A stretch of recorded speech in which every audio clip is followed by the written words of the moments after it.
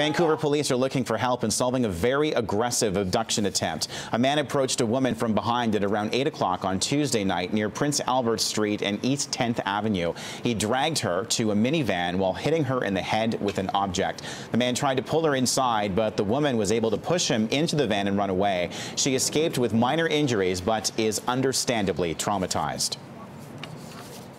If anybody has video in their home, uh, if they don't remind or if they don't mind viewing that video uh, from outside of their home and see if there is a suspicious person or there is a suspicious van that might have been caught on video in the area.